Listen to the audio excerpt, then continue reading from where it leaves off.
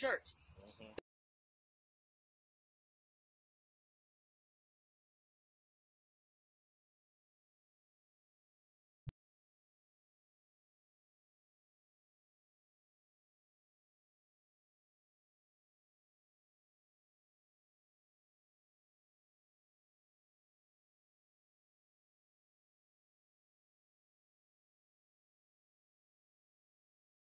Folks.